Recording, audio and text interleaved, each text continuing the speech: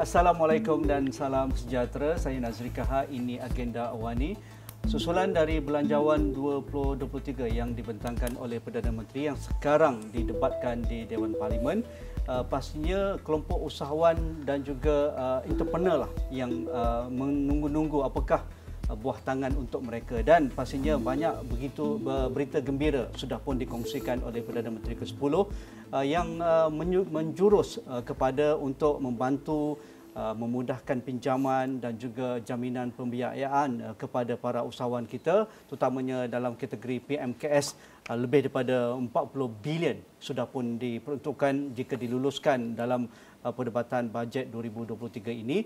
Dan banyak lagi lah bukan hanya tertumpu kepada Kementerian Usahawan semata-mata tetapi kementerian lain juga ada yang ada sangkut paut dengan pembangunan usahawan juga ada peruntukan-peruntukan tertentu untuk para usahawan kita. Tetapi malam ini kita lebih spesifik uh, kepada apa yang sudah pun diperuntukkan kepada uh, Kementerian Pembangunan Usahawan dan juga Ko Koperasi ataupun KUSKOP.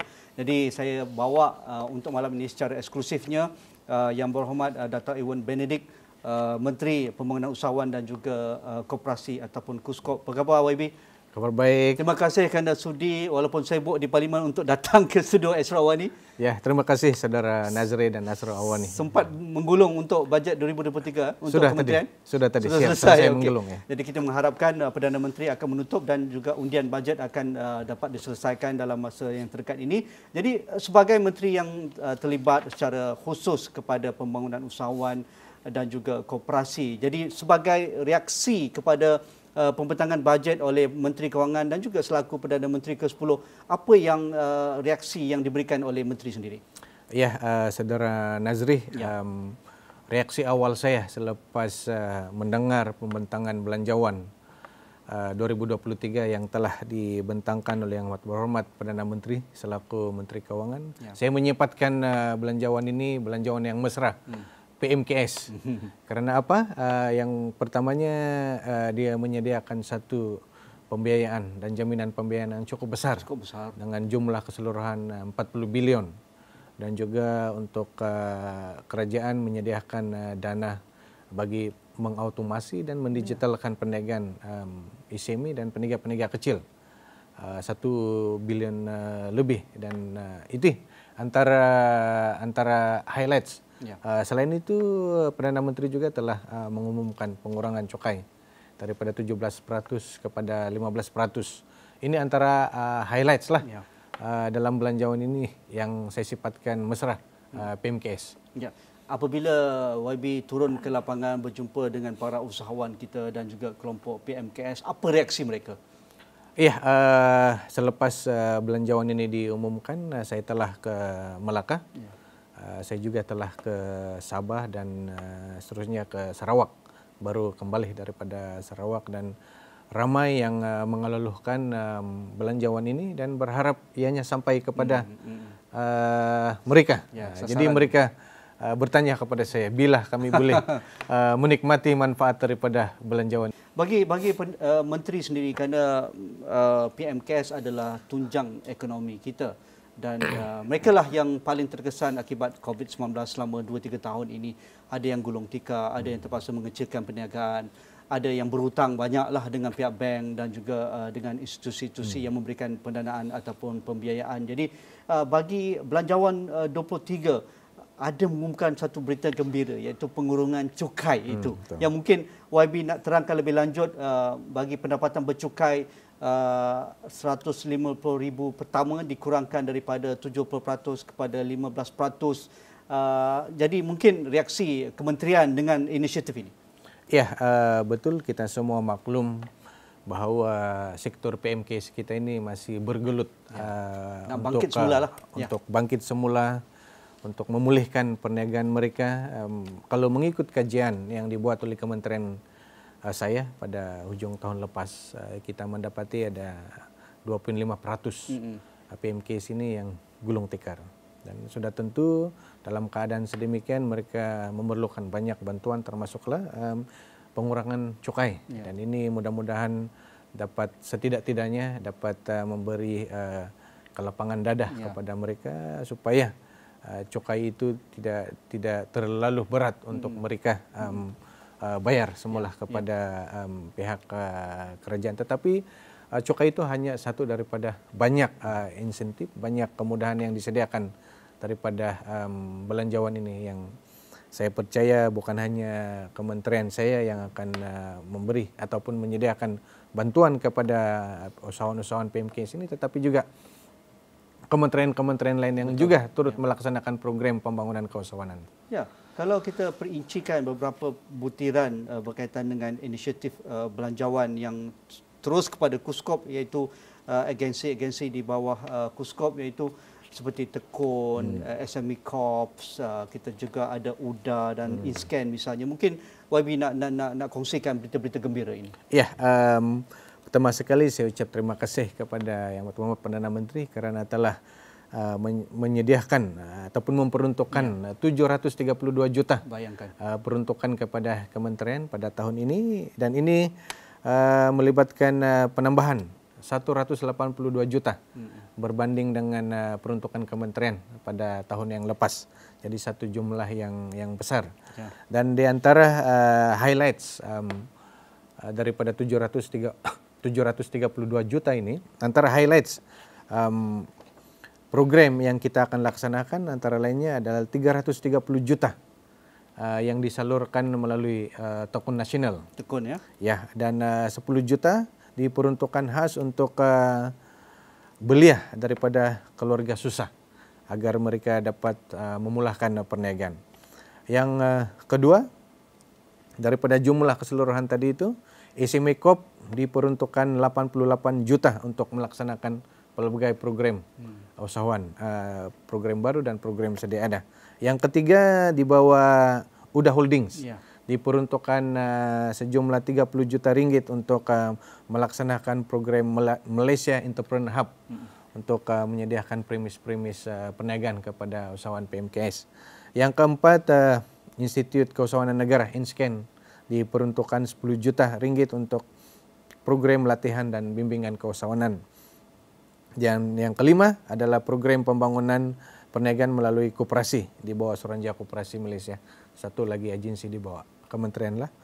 Ini melibatkan uh, peruntukan sebanyak uh, 5 juta ringgit. Ini antara highlight-highlightnya. Sementara itu yang program sedia ada kita akan uh, teruskan. Uh, teruskan ya. Okey. Kita juga uh, sudah maklum di kalangan para PMKS kita mereka mahukan uh, transformasi perniagaan mereka, hmm. model perniagaan mereka dari cara tradisional, cara konservatif uh, kepada digitalisasi hmm. dan juga era automasi ini. Uh, saya baru saja ber, ber, berinteraksi dengan para usahawan kita dari Sabah, dari pekebun-pekebun di Kundasang misalnya. Mereka mahu mendigitalkan uh, perniagaan mereka, jual beli mereka dan juga sistem orang kata pun uh, kewangan mereka dan sebagainya. Selama ini mungkin mereka tahu ada dana-dana dari kementerian, uh, dari apa dari Kementerian uh, Inovasi dan sebagainya. Tetapi bagi uh, Kuskop sendiri, uh, bagi PMKS yang ingin menukar uh, cara mereka berniaga kepada digitalisasi. Jadi di mana inisiatif tujahan Kuskop untuk memastikan hmm. PMKS kita mengerebut peluang dan dengan dana yang amat besar disediakan dalam bajet hmm. kali ini. Ya, uh, saudara Nazri uh, secara spesifik bagi Kementerian uh, Kuskop ini yang kita adakan pada masa ini yang sudah kita bangunkan adalah platform uh, MyMall, My satu ya. uh, platform untuk usahawan-usahawan ini uh, menjual uh, produk mereka secara digital melalui online, ya. uh, secara online ya. melalui platform ini dan setakat ini kita sudah ada 6039 hmm. usahawan yang telah berdaftar dengan uh, platform ini menjual produk mereka dan kita akan bangunkan uh, platform ini untuk uh, memuat untuk juga mencakupi maklumat-maklumat pembiayaan tentang keusahawanan dan juga um, latihan keusahawanan secara online. Ini yang pertama melalui pembangunan uh, platform MyMall uh, yang dibangunkan oleh kementerian. Yang keduanya kita akan uh, uh, mendapatkan ataupun InScan Institut Keusahawanan Negara ya. agensi kita akan terus menganjurkan latihan-latihan bimbingan-bimbingan kepada usahawan uh, PMKS bagaimana mereka boleh um, menjual produk mereka secara online. Ya kalau dulunya ada um, usahawan amanah ikhtiar Malaysia misalnya ya, berjualan di di gerai-gerai malam, di, tamu. di rumah, Ah, di ya. tamu. Malam. Apabila dilatih oleh Inscan dan saya mendapati um, uh, program bimbingan itu begitu berjaya. Ya. Ada yang berjaya meningkatkan jualan mereka mereka 20%, ada yang lebih 50% pun ada. Bayangkan. Jadi ini adalah antara lain uh, program bimbingan Inscan untuk uh, membantu usahawan-usahawan PMKS kita ini um, menjual secara online. Uh, pun begitu uh, di bawah belanjawan ini dinyatakan uh, dana yang begitu besar, geran padanan untuk mengautomasi dan mendigitalkan perniagaan. Eh, Tapi saya percaya sebahagian besar uh, dana tersebut disalurkan kepada agensi-agensi lain, uh, Bank Simpanan Nasional uh, dan sebagainya. Dan usahawan-usahawan boleh memohon. Dan dalam masa yang sama saya mengeluhkan usahawan ini uh, datang berjumpa dengan kita di kementerian Ya. dan kita akan facilitate uh, apa keperluan mereka. Uh, Jika mereka memerlukan geran padanan, kita akan bantu Salurkan, mereka. ya. kita akan bantu Pada dapatkan uh, ya. daripada agensi yang terlibat, bantu usahawan. Datang ini. ke Kuskop, tak ada masalah. Datang berjumpa di kementerian Ya. ataupun di agensi-agensi uh, uh, di bawah kementerian ataupun beli email saya. Ya. Dan Secara supaya email kepada saya supaya saya boleh ambil tindakan Ya. untuk maklumkan ketua agensi ambil tindakan ini Ya. ini ini keperluan uh, usahawan kita. Wabi Datuk, uh, kalau kita lihat di Sabah lah, di Sarawak, misalnya negeri ini masih ada jarak ataupun jurang digital yang amat lebar berbanding di negara negeri-negeri semenanjung.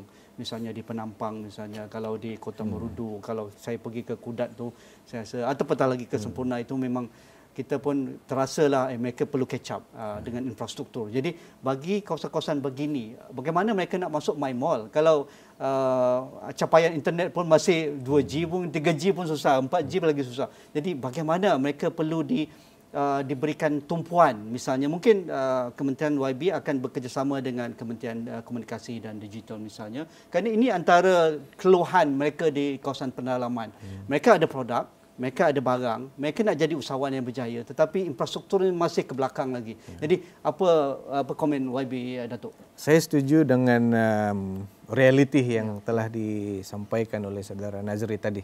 Memang itulah realitinya saya percaya bukan hanya di Sabah, Betul. di Sarawak dan masih sebahagian, di Semenanjung. uh, di Semenanjung juga uh, berlaku sedemikian uh, realitinya. Um, apa yang saya telah uh, buat setakat ini, saya telah berkunjung ke pejabat uh, Suruhanjaya Komunikasi di di Sabah untuk mendapatkan uh, situasi sebenar di pihak ya. mereka. Keduanya di peringkat kementerian kita telah menubuhkan Majelis Pembangunan Usahawan, Koperasi, Penjajah Penegak Kecil di setiap uh, daerah yang akan dipengurusikan oleh pegawai-pegawai daerah. Dan kita telah melaksanakan uh, projek rintis ini di Sabah dulu. Uh, di Sarawak kita menggunakan Majelis Pembangunan Usahawan Bahagian yang dipengurusikan oleh timbalan-timbalan residen di Sarawak. Dan di Semenanjung Ini akan pertama di, kali ya? Uh, kita Sudah gabungkan, uh, beberapa jawatan kuasa sedia ya, ada. ya. Semenanjung juga akan dipengurusikan oleh pegawai-pegawai daerah. Jadi dalam konteks Sabah tadi uh, kita perlukan uh, data daripada majelis ini nanti. Contohnya kita ada tamu di beberapa pekan di luar Di bandar, Ranau di misalnya. Ranau misalnya. Tapi kalau ada masalah capaian internet, maka majelis ini perlu maklumkan uh, kita supaya kementerian ataupun saya bertindak, boleh ya. uh, berhubung ber, berbincang dengan Menteri Komunikasi supaya ini dapat diambil tindakan. Ya. Jadi itulah uh, inisiatif yang kita ada. Uh, pada minggu hadapan saya akan menyerahkan perlantikan kepada pegawai-pegawai daerah ini sebagai pengurusi Majelis Pembangunan Usahawan, Koperasi, Penjajah dan Penegak Kecil di daerah-daerah di di Sabah Dan ya. seterusnya kita akan berikan geran pentadbiran kepada mereka uh, supaya kita diberikan maklumat Ya. yang berkaitan. Ya. Dan yang uh, ketiga, inisiatif kita 18 uh, bulan Mac ini saya akan uh, melancarkan skim usahawan tamu Sabah. Ah, hebat. Satu program di bawah Tokun uh, Nasional Nasional. khas untuk peniaga-peniaga, penjajah-penjajah uh, penjajah-penjajah di tamu-tamu di Sabah. Ya. Yang Skim kecil, yang pembiayaan. besar. Ya. Ya. Ya.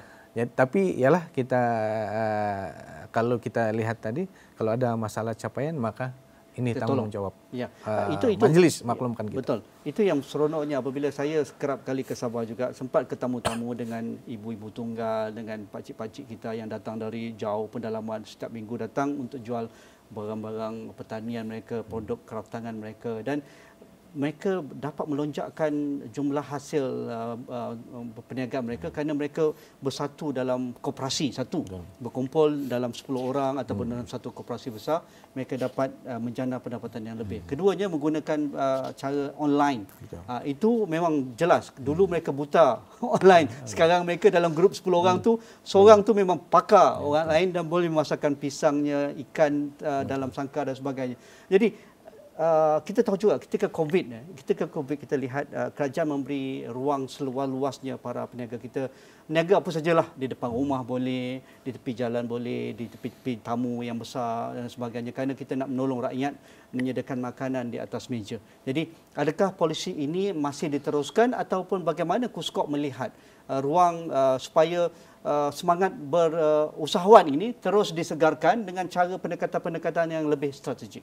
Oh, betul, eh, ya kita telah meminta agensi-agensi kita, agensi yang uh, menyediakan uh, pembiayaan kepada usahawan-usahawan kecil kita seperti Amanah Ikhtiar Malaysia, uh, Tokun Nasional uh, Malaysia, termasuklah juga Isimikop dan termasuk kepada uh, Suruhanjaya Koperasi Malaysia untuk menerapkan uh, uh, budaya keusahawanan berasaskan digital. Nah, ini memang dasar dan uh, program yang kita akan terus uh, bangunkan dan berikan kepada usahawan-usahawan uh, PMKes supaya cara baru ini ya. dapat disegarkan. Ya, ya, ya. Kita maklum uh, pandemi Covid PKP telah uh, mengubah cara kita uh, berniaga, mengubah cara kita berurus tadbir. Ya. Sebab itu agensi-agensi juga uh, uh, berusaha untuk uh, mengubah um, cara uh, berniaga um, usahawan-usahawan kita ini daripada cara tradisi, ya. boleh mengakalkan cara tradisi,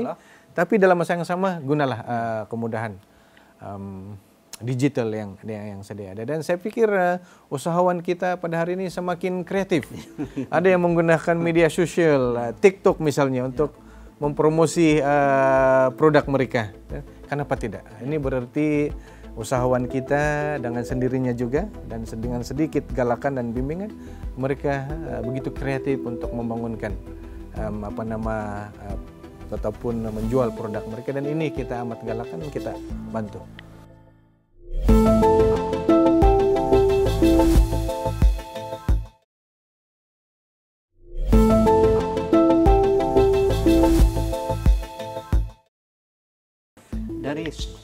Kawal selia kerana Perdana Menteri amat uh, menitik beratkan uh, penjaja dan juga peniaga kecil.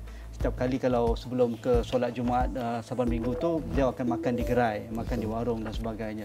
Dan setiap kali apabila beliau berkunjung ke warung, beliau lihat di depan mata bahawa ada kawasan-kawasan perniagaan yang disediakan oleh pihak berkuasa seperti MARA ataupun di BKL ataupun PBT misalnya amat daif, amat hmm. kotor dan tidak tersusun. Hmm. Jadi di mana peranan Kuskop uh, dalam hal ini kerana kita tahu ini banyak uh, hmm. rentas agensi, Betul. rentas kementerian. Tetapi kita tahu mereka lah menjadi enjin pertumbuhan ekonomi. Hmm. Uh, kalau mereka uh, minat berniaga tetapi infrastruktur ataupun ekosistemnya amat uh, lemah berbanding mereka yang berniaga di KLCC misalnya atau di pavilion. Tapi ialah pelaburan mereka besar. Tetapi mengapa penjaja dan juga peniaga kecil ini perlu diangkat uh, martabat mereka uh, pada dengan YB Datuk? Ya, itu sebabnya seperti mana saya sebutkan tadi. Kementerian telah menubuhkan majlis pembangunan usahawan, koperasi, penjajah dan peniaga kecil di di semua daerah di seluruh um, negara ini yang akan dipengurusikan oleh pegawai-pegawai daerah ataupun dalam konteks Sarawak timbalan uh, timbalan residen dan dalam kawasan uh, perbandaran yang di Pertua. Ya. Um, PBT. Uh, PBT itu. Jadi tujuannya adalah uh, untuk mendapatkan solusi um, dalam kawasan pentadbiran itu um, antara lainnya soal perlisenan. Ya. Keduanya soal premis perniagaan, tempat yang kita sebutkan tadi ketiganya pembiayaan, keempatnya penguatkuasaan uh, undang-undang. Ya, inilah antara lain perkara-perkara yang uh, kita dapati perlu diselaraskan. Uh, dan Tak- tak kita dapati uh, ya uh, tidak boleh lepas tangan. Ya. Uh, tapi kita maklum lain kerajaan negeri uh, berbeza dengan uh, kerajaan negeri yang lain. Ya. Ada yang mengambil langkah proaktif dan ada yang perlu dilipat gandakan untuk membela uh, penjajah penegak kecil. Selain daripada majelis tadi yang ditubuhkan oleh uh, kementerian, kita juga telah membangunkan apa yang kita panggil Plan Pembangunan Penjajah dan Penegak Kecil. Ya. 2023-2027 dan ini merangkumi ada uh, 17 strategi dan 29 inisiatif yang akan uh, memberikan nilai tambah kepada usaha pembangunan kumpulan penjajah dan penegak kecil di seluruh uh, negara ya dan uh, selain daripada itu bagi menggalakkan perniagaan um, daripada rumah Home base. Hmm, home base Ya. kementerian juga telah um, Ada kawal memperkenalkan uh, garis panduan aspek kawal selia perniagaan daripada rumah. Um, ini kita akan angkat ke uh, jemaah menteri nanti untuk uh, pertimbangan sebelum kita um, lancarkan untuk sebagai garis panduan. Di Sarawak baru-baru ini Ya. saya telah angkat uh, cadangan ini berikan kepada kerajaan Sarawak untuk diperhalusi ada di- dipertimbangkan oleh dipertimbangkan oleh PBT di Sarawak. dia boleh diangkat sebagai satu inisiatif yang serius. Tetapi uh, YB uh, Datuk kita lihat uh, dalam hal untuk membangunkan usahawan ini kita juga tidak boleh nafikan mereka juga tersepit dengan kos sara hidup. Oh, usahawan juga orang macam kita juga mereka Betul. juga perlu beli makanan, perlu menyediakan uh, infrastruktur untuk keluarga dan sebagainya. Jadi uh, bagaimana peranan koperasi dalam hal ini? Kerana bagi negara-negara maju, terutamanya negara yang sudah maju dalam bidang uh, pertanian, uh, IKS dan sebagainya, koperasi adalah induk mereka. Mereka maju, mereka boleh memberikan pulangan yang tinggi dividen mereka kepada ahli mereka kerana mereka terlibat dalam koperasi. Jadi di mana koperasi kali ini dan acap kali juga diangkat oleh Perdana Menteri kita yang memuat Perdana Menteri Datuk Seri Anwar Ibrahim bahawa koperasi adalah enjin untuk membantu para usahawan kita. Uh, pandangan YB. Betul, uh, saya setuju dengan uh, pandangan uh, yang berhormat Perdana Menteri dan pandangan banyak uh, orang termasuk saudara Nazri tadi. Uh, koperasi ini satu engine yang boleh membina um, ekonomi Ya, kita. capacity kita. Termasuk koperasi untuk penjajah penegak kecil kita alolohkan. Ya. Malah di Dewan Rakyat hari ini pun uh, saudara Rafizi, Menteri Ekonomi juga um, mencadangkan supaya um, uh, apa ini usahawan yang terlibat dalam vendor um, IPR. IPR Ya, itu ya, ya. boleh menubuhkan koperasi dan Mengapa saya katakan Ya, ya. Dia- kepada dia ada-adukan. beliau kita akan facilitate untuk menubuhkan koperasi kita hanya perlu 20 orang saja Ah, tak- paling minimum Tak ramai pun. tak ramai dia hanya perlu bermusyawarat menubuhkan koperasi kita akan bantu Ya. dan di bawah uh, Suruhanjaya Koperasi kita ada tabung modal pusingan Ah. dan kita ada geran uh, pembangunan Ya. yang boleh kita berikan kepada koperasi-koperasi ini Untuk mulakan kerja. untuk mulahkan dan juga untuk teruskan uh, aktiviti perniagaan mereka. Jadi Jadi kita alolokanlah Ya, uh, ya. penjajah penegak kecil ini uh, tubuhkan koperasi uh, supaya mudah untuk kita uh, membantu mereka dan dalam masa yang sama sebagai satu koperasi Ya. mereka boleh berbincang dengan PBT dengan lebih baik Betul, sebagai ya. satu koperasi. Hal perlisenan, macam-macam lah. premis perniagaan dan sebagainya. Ya, ka- kalau kita nak nak nak nak dapatkan sambutan daripada rakyat dan juga masyarakat uh, YB Datuk, kita perlu mempromosikan ni uh, hal berkaitan dengan koperasi. Jadi, apa inisiatif yang untuk memastikan uh, koperasi kita ini bukan uh, uh, segan mati tak mahu tetapi ia boleh jadi suatu benda yang dibanggakan dalam pelbagai bidang keusahawanan dan juga aktiviti ekonomi. Uh, apa inisiatif koperasi misalnya? Ya, uh, inisiatif sedia ada uh, di bawah Suruhanjaya Koperasi kita. Kita um, menyediakan uh, geran pembangunan sehingga RM300,000 kepada um, kop- uh, koperasi-koperasi ini untuk uh, memulahkan um, aktiviti perniagaan koperasi. Dalam masa yang sama bagi koperasi sedia ada, Ya. mereka boleh memohon tabung modal pusingan sehingga maksimum 30 juta kalau ada keperluan. Ramai orang tak tahu ni. Dengan uh, kadar uh, faedah satu peratus saja, begitu minimal. uh, sangat minima uh, sekali berbanding dengan bank-bank uh, komersial. Uh, ini antara lain insentif. Dan kedua bagi koperasi yang terlibat dalam sektor um, agro makanan. penternakan ayam ya. dan uh, penanaman cili, uh, jagung, cili. Hmm. Kita ada sediakan 100 juta ringgit tahun ini untuk um, agro makanan. Uh, agro makanan yang dilaksanakan oleh uh, koperasi koperasi. Dalam masa yang sama kita akan melaksanakan apa yang kita panggil bazar bazar madani koperasi dan usahawan uh, dan uh, kita akan salurkan subsidi yeah. kepada koperasi ini agar mereka dapat menjual harga runcit, harga barang tertentu lebih murah, uh, lebih murah daripada Sedikit. harga uh, pasaran.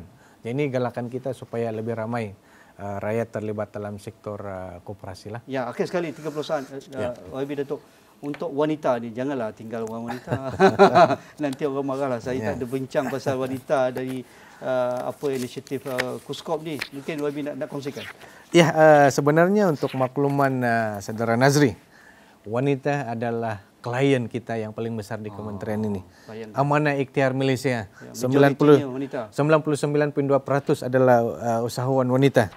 Uh, Tokun Nasional 55% usahawan wanita. Isimikop 30% usahawan wanita.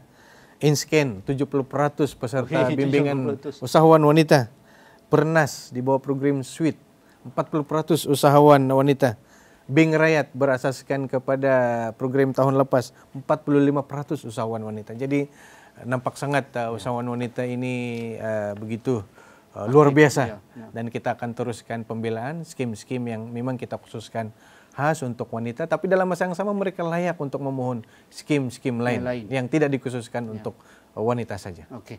Terima kasih uh, Wabi Dato' Ewan Benedict, Menteri Pembangunan Usahawan dan juga Koperasi banyak sekali informasi mungkin ada yang uh, tak sempat dikongsikan pada sesi malam ini anda boleh ke agensi-agensi yang terlibat begitu banyak agensi di bawah Kuskop uh, apa yang dikatakan tadi ada Bank Rakyat ada SMB Corp ada Tekun Nasional ada uh, Amanah Ikhtiar dan seumpamanya anda pergilah macam-macam inisiatif dan Betul. juga uh, grant padanan pembiayaan yang disediakan uh, insyaallah jika bajet ini diluluskan itulah yang uh, sudah pun dijanjikan oleh pihak kerajaan. Terima kasih YB atas masa yang diberikan sekali lagi.